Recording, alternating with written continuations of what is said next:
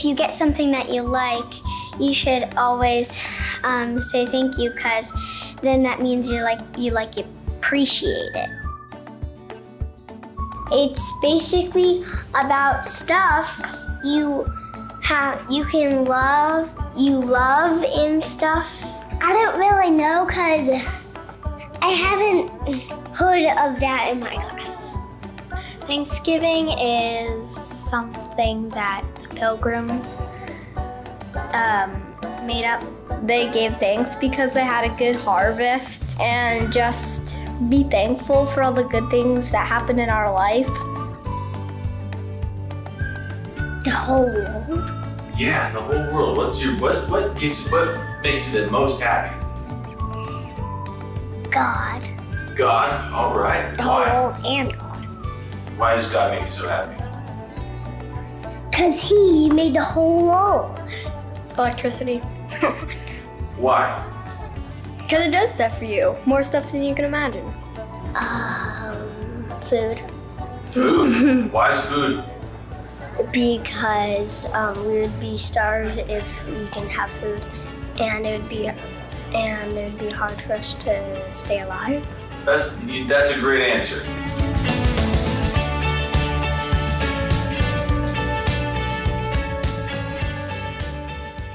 Well, happy late Thanksgiving.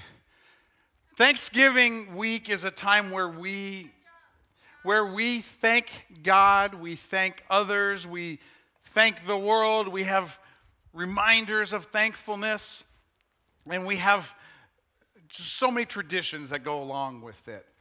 You know, around my table at home, we go around and have everybody share something they're thankful for. But probably my favorite tradition on Thanksgiving is to gather together on the couch. And this started as a child growing up in East Lansing, Michigan. We turn on the television and we watch the Detroit Lions lose um, on Thanksgiving and they lose and they did not let us down this year. They, they, found a, they found a way to lose. That was their game to win. If you ask any football fan or even kind of a mediocre follower of football they will say that the detroit lions lose on thanksgiving. They'll probably say that the dallas cowboys win on thanksgiving and while this year it went the other way on that one but I did a little research. I'm 49 years old. And in my lifetime, the Detroit Lions have won 22 times. Now, if they had won 25 times, so three more games, let's do a little bit of math here. If they would have won three more games, they would have won more than they would have lost. So that's real close. But there's this idea that the Detroit Lions lose on Thanksgiving. And while that's kind of a funny little tidbit about the Lions in football, I think we often do that in our lives as well. I really believe that we look at the, the losses, we look at the negatives, we look at the, the things that aren't the way they're supposed to be, often much more than we look at the wins or the positives. Today, we're going to look at a, a passage out of the book of Luke. We'll be in Luke 17, and we're going to look at the story of the 10 lepers.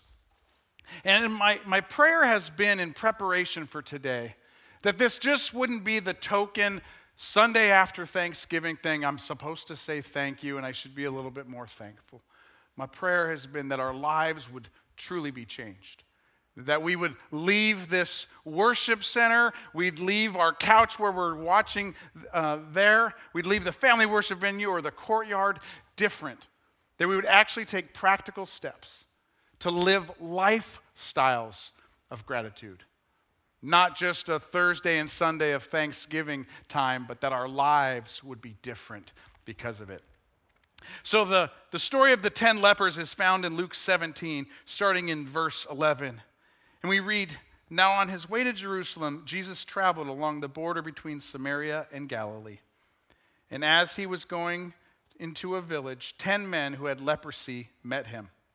They stood at a distance and called out in a loud voice, Jesus, Master, have pity on us. I want to pause right here to just point out something really big in this. You see, leprosy in Jesus' time was a really big deal. Leprosy wasn't a, minor thing in that it was a little affliction or a disease that, that you kind of had to deal with. Because you see, if you had leprosy in Jesus' time, you were excluded from society. You were excluded from your family. And unless you were blessed enough to find nine other guys that also had leprosy, you lived life alone in seclusion. And then that's aside from actually having a disease that's bacteria growing on your skin that causes sores that are horrific to deal with. Despite or in addition to the physical, there's this emotional toll. There's this separation from everybody else. When these 10 lepers come to Jesus, they are desperate. They are not in a good place. This isn't, hey, can you just hook me up, Jesus? Like, this is, we need our lives changed. We're in a very bad place. And so they cry out to Jesus from that spot. Continuing, it says, when he saw them, he said, Go show yourselves to the priests. And as they went, they were cleansed. Now, the priests had a significant role in this, in that the priests were the ones, they weren't medical professionals, they weren't the ones who were going to diagnose and treat, but they were able to get a look at someone who had been dealing with leprosy. And they were able to make a statement, a proclamation about whether or not they'd been cleaned. And if they were cleansed, if they were healed of their leprosy, they then could integrate back into society. And we don't know a lot about these 10 lepers. We don't know if they'd been dealing with it for a month or a year or their entire lifetime. But can you imagine, even if it was a short amount of time, to be walking on your way to see the priests? And as you make your way to the temple, you look down and you realize your skin is clean. That for however long it has been, you're now cleansed you're now healed. maybe it's been a lifetime that you've been dealing with this, that you can't recall the time that you last looked at your skin and it was clear. The feelings of gratitude, of thankfulness, of elation, of relief had had to have been huge. Had to be a major deal because this was a life altering cleansing this healing would change them completely. One of them, one of them, when he saw he was healed, came back, praising God in a loud voice. He threw himself at the feet, at Jesus' feet, and thanked him. And he was a Samaritan.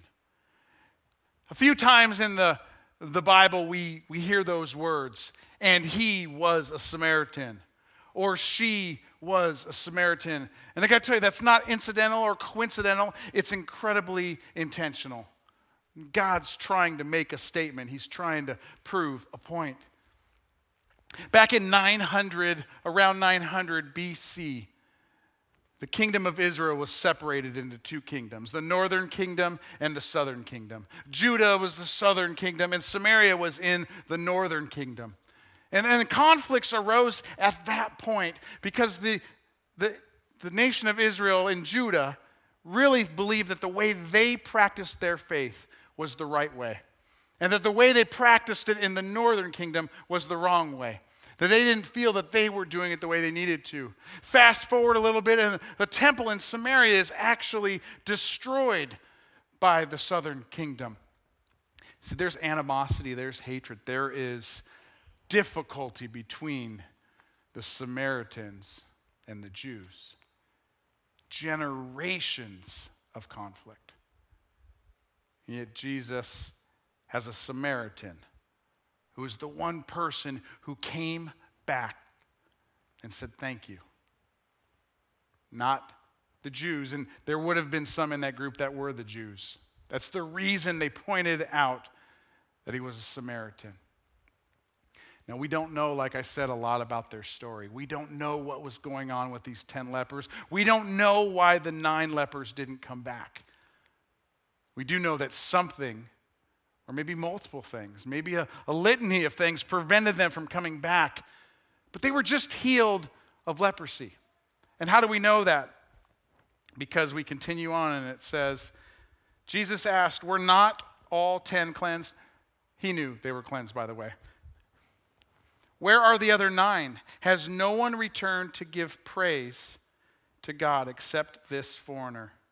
Then he said to him, Rise and go, your faith has made you well.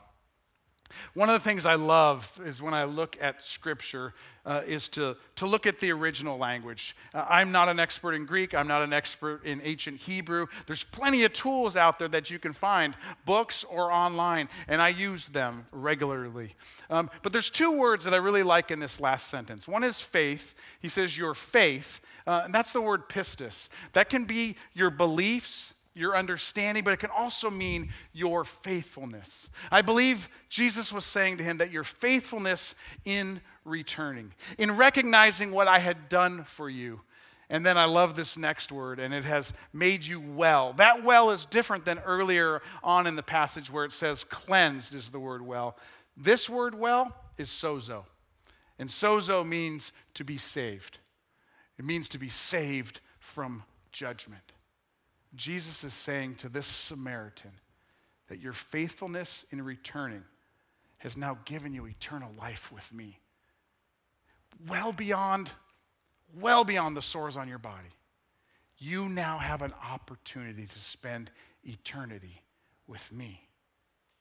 That's a huge thing because, you know, in our lives, that's what's most important. It's our relationship with God. So, today we're going to talk about gratitude. And like I said, it's my prayer that our lives are changed, that we actually leave here different than we came. And as we look at gratitude, I want to I want to quote um, Robert Emmons. He's one of the leading scientific experts in gratitude. There's actually a science in gratitude. He says, Gratitude is the affirmation of goodness in our lives. He says we also recognize that the source of the goodness is outside the individual.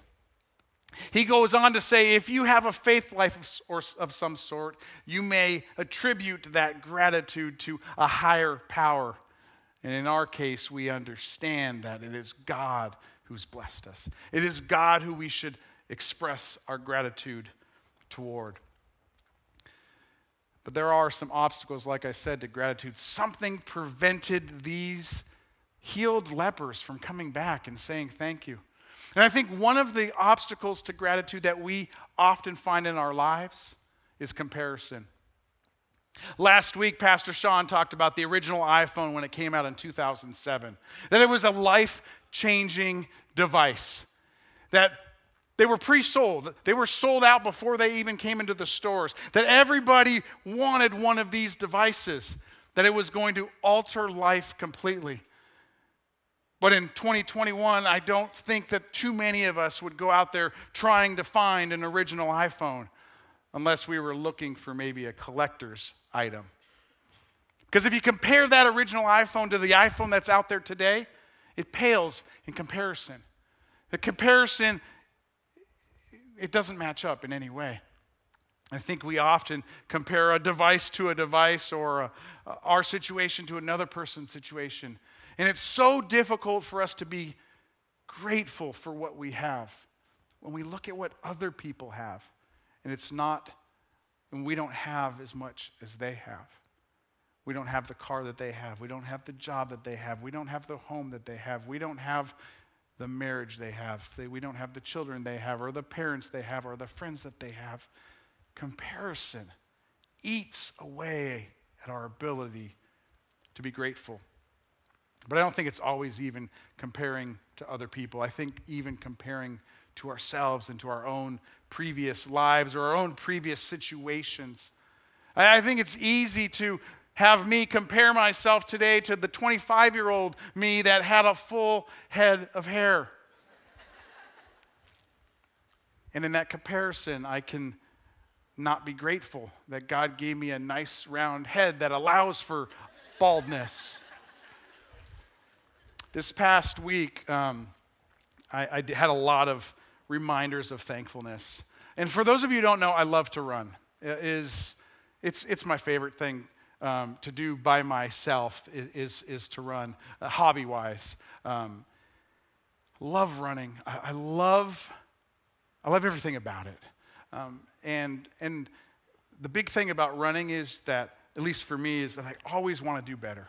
I'm always seeking to be faster, have a lower heart rate, feel stronger, go farther.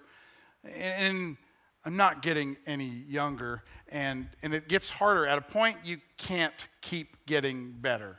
Um, I think you all know that your bodies age, and many of you are probably feeling that. I've also not been able to get out and run as much as I've wanted to, but in the last week, I got to run four times. And I had one run in particular that just, it just hit me, especially as I was preparing for this message.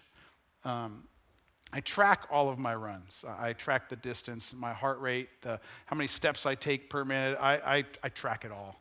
Uh, I track my pace, uh, the effort versus previous runs. And I finished this run this week. And I'm not going to get into the specifics of it because it's not about that. But when I finished my run, I was discouraged and disappointed. I had literally just finished doing the thing that I enjoy doing more than anything else as a hobby, and I was disappointed and discouraged and ungrateful because I had compared all of the details of the run to my previous runs. And it wasn't as fast as my previous runs. My heart rate was higher than my previous runs. My cadence was all over the place. It wasn't a good run. And instead of being grateful, to have a body that allowed me to go run. Instead of being grateful that I got to run along the beautiful Monterey Bay, instead of being grateful that I got to spend a significant amount of quality time talking to my Father in heaven, which I do on my runs every time, I was disappointed and ungrateful. But comparing to my own situations, to a, a, previous situation, a previous way of running, I wasn't able to appreciate and be grateful for this one. Comparison will, will get in the way of us expressing and really recognizing gratitude. Contentment is another one. I believe that contentment is a big, big obstacle to gratitude. And contentment is really being unhappy or unsatisfied with what we have or our situation. And before I go any further, I got to say there's such thing as healthy contentment. There's such thing as looking in the mirror and seeing that I'm unhealthy, that maybe my weight has grown a little bit and I'm, my waist size has gotten a little bigger, and I can be discontent with that. And I can take steps to improve my health. I can be discontent with how I wake up every morning tired, and I can take some steps to get better sleep. I can be discontent with the status of my marriage and be willing to put the work in to improve it. I can be discontent in many ways that lead to, to forward motion that is good. I can be discontent with my, my job and I can go seek education that will help prepare me for another opportunity. Discontentment in and of itself is not bad. There's many ways to have healthy discontentment, to want better and to want more. But when that becomes the thing we focus on, when we can't find ourselves content in any situation because nothing is ever good enough, we will never, ever be able to live lives of gratitude. And then life circumstances are also an obstacle to gratitude. And I know for many of you, your current life circumstances are rough. maybe these last couple of years have been brutal. Maybe you've found yourself unemployed. Maybe you've had relationships that have been fractured. Maybe you've lost loved ones in your life unexpectedly.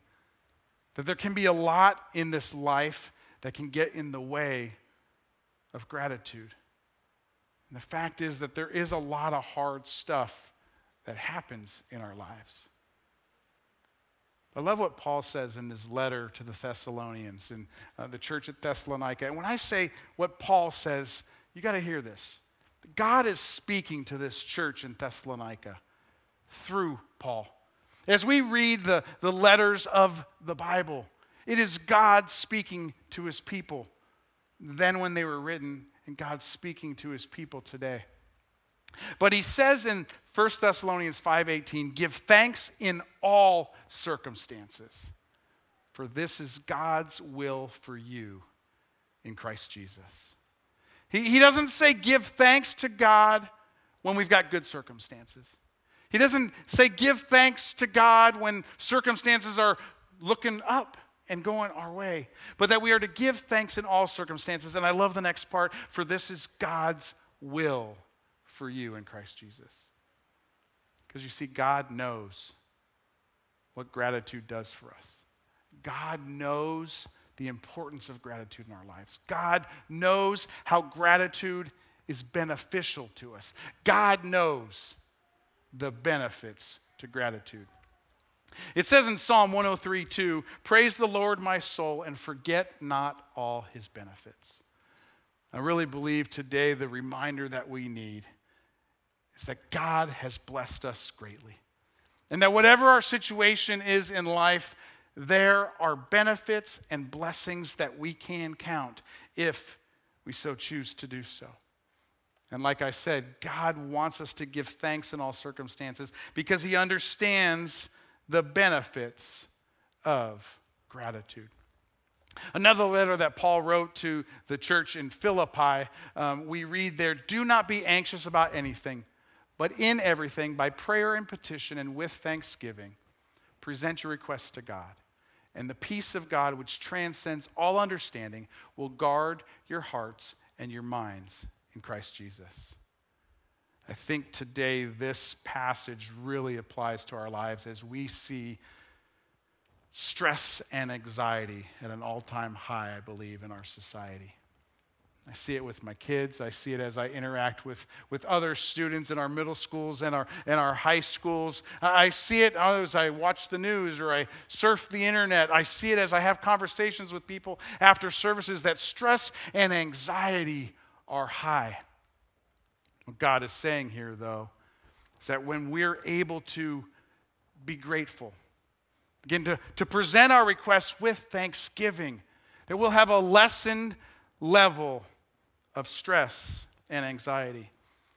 So we all deal with stress and anxiety every day. And research has found, and I love when research backs up what we already know from God's word. Research shows that being grateful might keep our minds from getting so worked up worrying about things. And when you're in the middle of a stressful situation, refocusing on what you're grateful for can calm the body and the mind. This reduces symptoms of stress. See, when you choose gratitude over negativity, you also feel less emotionally charged. A sense of gratitude allows you to respond rather than react in a specific situation. Gratitude is helpful in reducing stress and anxiety. Gratitude also strengthens relationships. Gratitude strengthens relationships with God and with others. You know, our earthly relationships, they're going to come with disappointments. There's going to be difficulties in our relationships, whether they be with a spouse, a child, a friend, a neighbor, a coworker, a random person on the highway. As we grow closer to other people, we, we get a better look at their shortcomings. And those often can be the things that we focus on. We can see the losses and not the wins and miss out on a lot. But I think the more we develop an attitude of thankfulness and of gratitude, the more it allows us to focus on the good qualities in other people. That we can then see them in a different light. And as we focus on the good, there's more positive attributes we'll find. There were a series of studies that were done in 2012 about gratitude, and they found that they also increase empathy and reduce aggressive behavior. Gratitude motivates people to express, express sensitivity and concern for others. Aggression is obviously the opposite, and that is decreased or reduced in grateful people. Some research done by John Templeton Foundation found that there's a gap between the gratitude Americans feel and the gratitude that they express.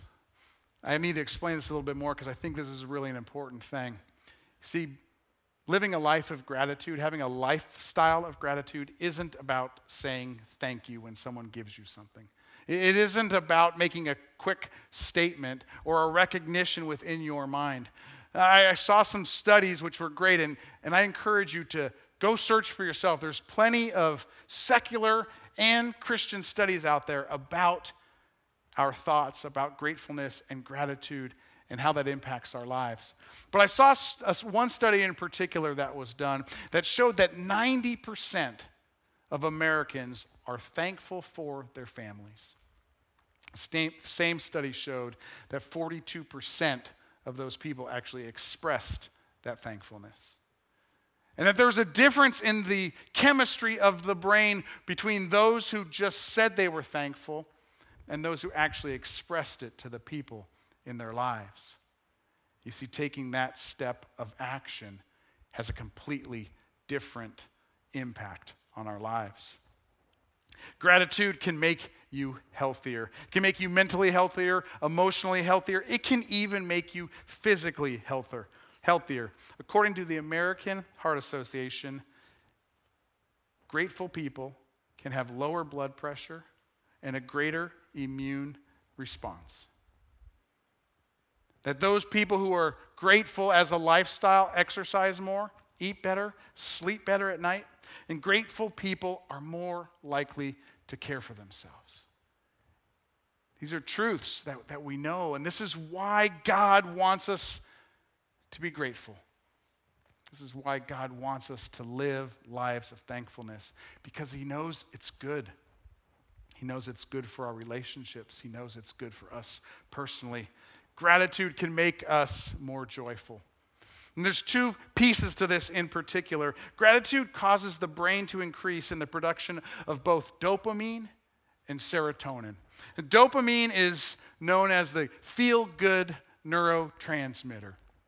It gives us feelings of elation and of, it gives us a good feel to ourselves. And as we are grateful, as we are thankful, the dopamine levels in our body rise and makes us more joyful.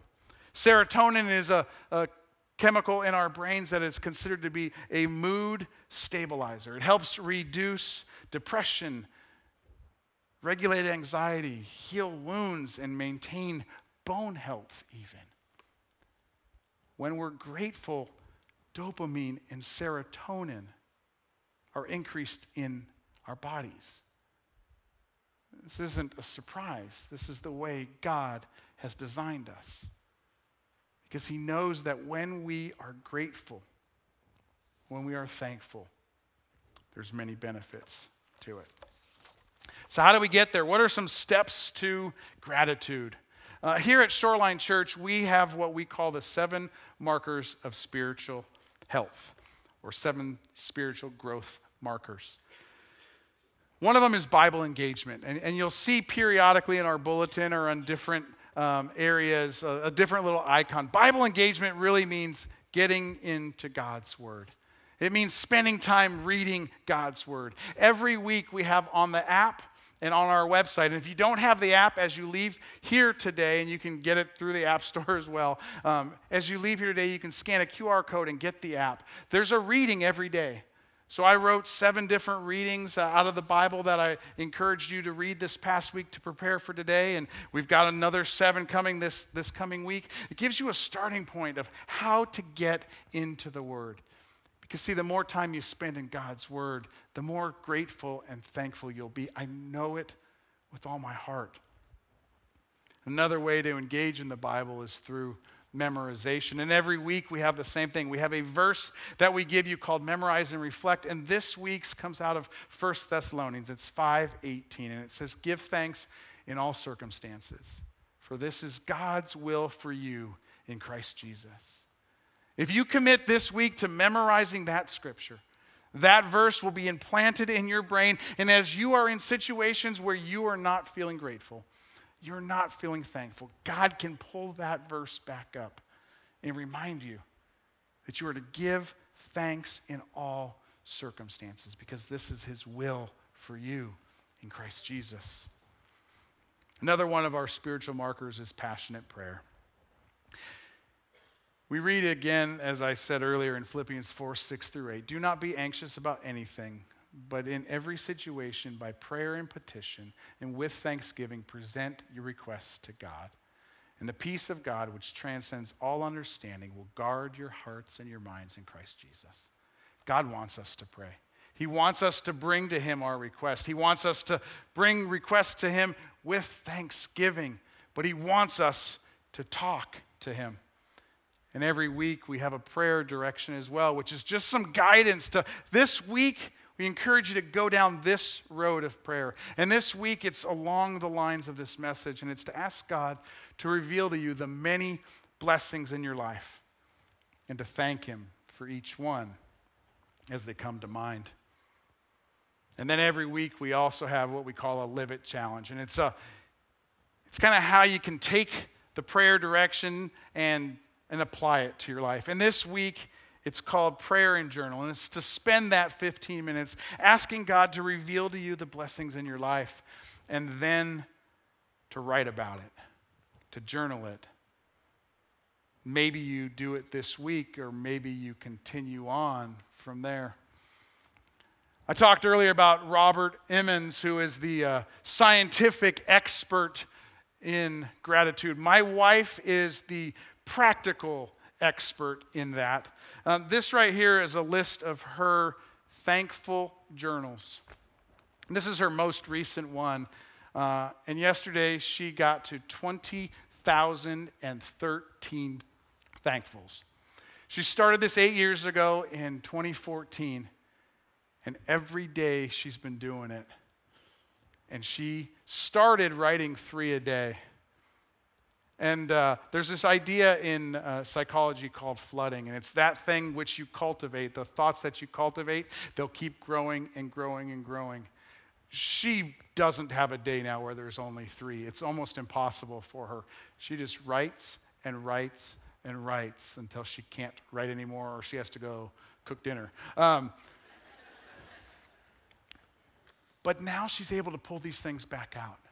She's able to have an opportunity when she's having difficulty in a situation or a circumstance, or maybe not feeling grateful, and she can say, I've got 20,000 memories of good things in my life. When we journal, we, we get to put pen to paper, we get to refer back to it later, we get to actually have something that's tangible. And the more and more we practice being grateful, the more grateful we're going to be, and the more benefits we're going to experience in our life. Philippians 4 8 and 9 says, Finally, brothers and sisters, whatever is true, whatever is noble, whatever is right, whatever is pure, whatever is lovely, whatever is admirable, if anything is excellent or praiseworthy, think about such things. Whatever you have learned or received or heard from me or seen in me, put into practice and the God of peace will be with you. When you come to church on Sunday mornings or you tune in online, you're going to hear from a pastor. You're going to hear at Shoreline from God through His Word. My parting words to you today are to put it into practice, to take what you have heard today and do something with it. Allow God to change your life. I, I promise you, if you are able to develop a growing lifestyle of gratitude, even if you're pretty good at it now, if you can improve in it, God will do amazing things in you and through you that will transform your lives, your family's lives, and the lives of those you encounter in this world. Would you pray with me? Heavenly Father, I thank you so much for today. I thank you for the reminders you've been giving me about the importance of gratitude. And I pray as you've started to cultivate that in me and as you have done in my wife for eight years, would you do that through this entire church body? Each person here today in the family worship venue, in the courtyard, viewing online, or those who will view this in the future, Lord, would you change each and every one of our lives and allow us to truly develop lifestyles of gratitude? We pray this in Jesus' name. Amen. Before I send you off with a word of blessing, I've got a few announcements that we have every week. We love to pray for you. If you have something you would like prayer for, we'll have some prayer partners up here if you're in the worship center or on campus. If you're online, uh, we'd love to have you call 221 0290, and we'd love to pray for you. You can also text your prayer request there, or, um, or you can email prayer at shoreline.church.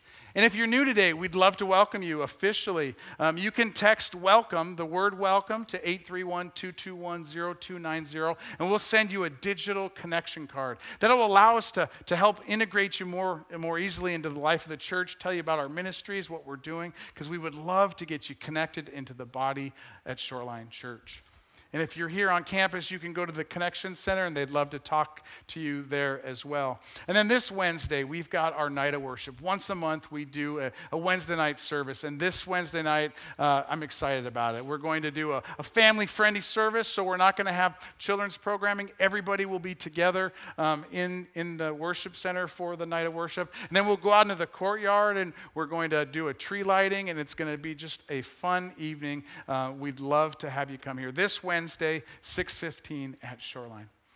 And if you would indulge me now, and, please stand if you're able, I would love to send you off with a blessing. May you go in a lifestyle of gratitude, understanding that God has blessed you more than you recognize or remember. May God cultivate in you a heart that longs for Him more, that longs to live lifestyles of gratitude. And may that lifestyle pour out of you into your family, into your neighbors, into your coworkers, into this community, and around the world. God bless you. Have a wonderful day.